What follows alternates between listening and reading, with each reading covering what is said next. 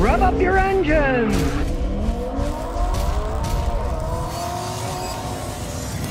Well, you want to make sense of gas in the oil business? Good luck, because it doesn't make any sense at all. It's insanity. The title of this is Oil May Be About to Go Down on Higher Costs. You'd think if it costs more, the price would go up, but no, this whole thing has gone insane. And one of the reasons they gave is look, costs related to moving oil around have soared. Well, generally, if the cost of moving stuff around costs more, then you pay more for it, right? And you would think, with all this crap going on in the Middle Mideast, right, that there'd be even higher price of oil. Oh, we're not going to supply and stuff. No, they're actually saying that's making the cost go down because of shipping concerns. A lot of the oil stuff, it's very complex, intertwined, kind of like the Kraken. You know, it's got arms everywhere. We used to get a ton of oil from the Middle East. We don't do as much as we used to with them. We actually export a ton of oil now from the United States to Europe because of the Ukraine Russian wars. You never know how these crazy conflicts affect things, but it's so intertwined, it's kind of insane, right? So, with the Saudis and the Russians saying we're going to cut what we're selling to people, right? It's backfired on them the price is actually going down instead of going up. It's such a complex world. It makes your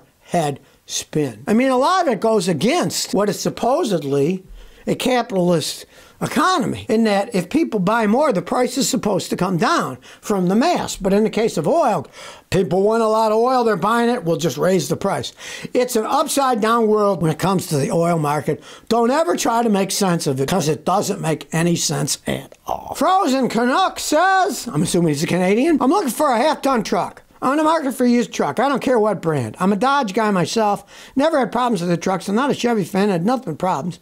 And I'll drive a Ford if the price is right. What do you think? All right. Well, I can't believe that you've never had problems with Dodge trucks. So either you're driving really old ones when they made them better, or you don't put too many miles on them because they're very problematic, the Dodges, right? Now, you want a half ton truck. I'd say out of those, I go Ford. Get F 150 with a V8 engine.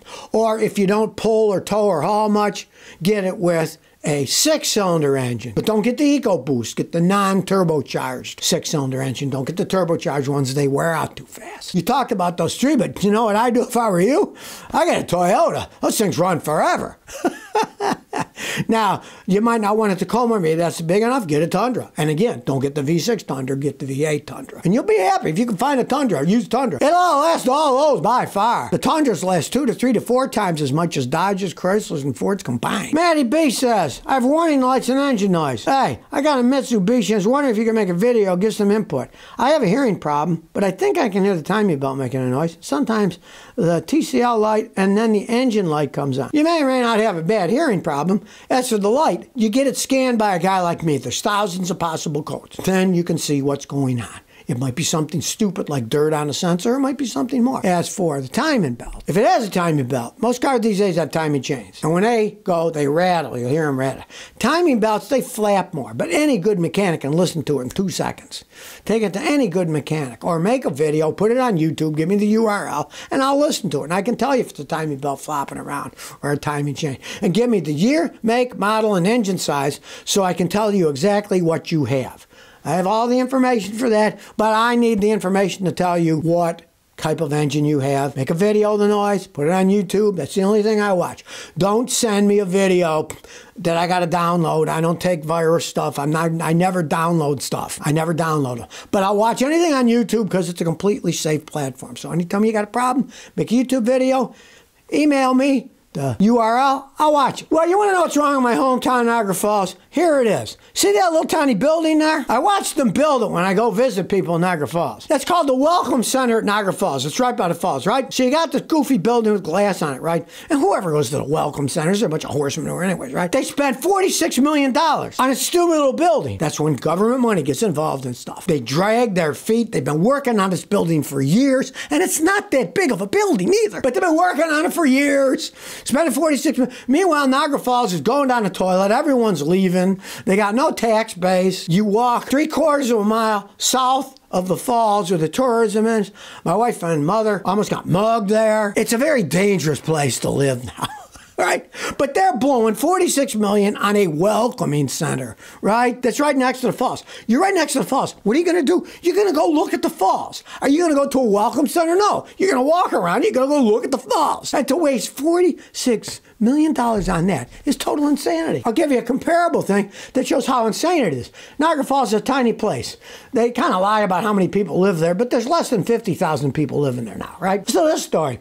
City of Houston spends $100 million more than it brings in to repair budget shortcomings. The city of Houston's three and a half million people, whatever it is, right? And they're whining about they spent $100 million more than they took in for their budget. That's three and a half million people. Niagara Falls blew 46 million bucks on this stupid building. This is why you can't have the government running things. They just waste money, put it in the dumbest things on earth.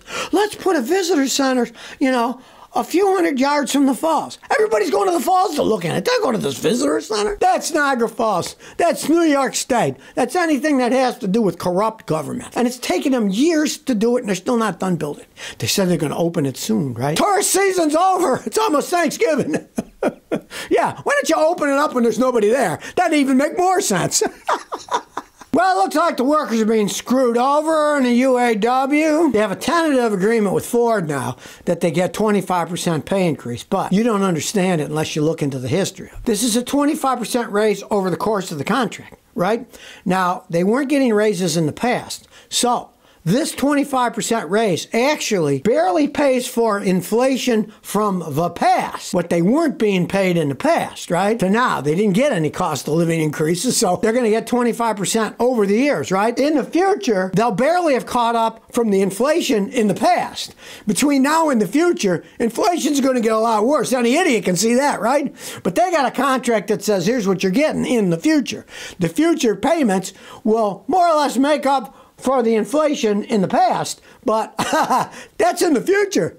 And in the future, you know inflation's going to be even higher, and they're not going to get their money. Meet up with inflation. Anybody can see that, you know? That's why they had to ask for more. What they're getting now is basically making up for the inflation of the past. But they're not getting a 25% pay rate now. That's over the course of years. And by then, you know inflation's going to be worse. So basically, the workers are getting screwed over. Who didn't expect this one? Well, here we go with stupid AI and self driving robo taxis. Guess what? Cruise just shut down their driverless taxi service in Texas, in Houston, in Austin. Now, as usual, you get a bunch of horse manure from the companies themselves. They say this decision isn't due to any sort of decision. The most important thing for us right now is to take steps to rebuild public trust. Part of this involves taking a hard look inwards and see how we do work at Cruise, even if it means doing things that are uncomfortable or difficult. Oh, I feel so sorry for these people at Cruise. Oh, you know, crocodile tears are coming down my eyes. Problem is, they have spent billions on this AI self-driving crap and they refuse to give up because then they've lost billions. So they'll continue to throw more money into the money pit. Here's some more of their crap. You want to laugh? I can't stop laughing. I quote we have decided to proactively pause driverless operations all of our fleets while we take time to examine our processes systems and tools and reflect on how we can better operate in a way that will earn the public trust. What a line of horse manure. I just can't believe the crap that comes out of these people's mouths, you know? Like I always say, follow the money. In this case, the AI self driving people, they're following their money down into the money pit. They won't admit they screwed up, so they'll continue throwing horse manure. But now that there's problems, they lay this touchy feely stuff. We really care about you people out there. BS! They're trying to make money, right? And their little electric self driving cars don't work that well. Self driving, I told years ago, I said to people, this stuff is future fantasy. Well, it looks like it's going to be even more in the future now. they shut him down in Texas, too. They did the one in San Francisco, and now they shut him down in Texas. You think it's bad for the company Siemens that's losing money with offshore power, windmill stuff, right? Guess what? General Electric is losing a billion dollars a year in this offshore wind stuff. One, it makes them look bad, but They don't care because what they want, more government dole money. Well, we're losing money. If you want us to build these windmills, you're going to have to pay us an awful lot more money for them. You know the game they're playing, right? We have questions about near term profitability. Governments now, if you want us to build these windmills, we don't know about this near term profitability. So you got to give us billions to keep us going, right? Sounds like the biggest flim flam in history. Well, these systems, they're not making us any money in the near term in the future we're sure they will. You uh, know if you know anything about history guess what? Tomorrow never comes. It's always today. It's never tomorrow. Tomorrow is always the next day. And if you're talking about the future you can say anything because you don't live in the future. You live in the present.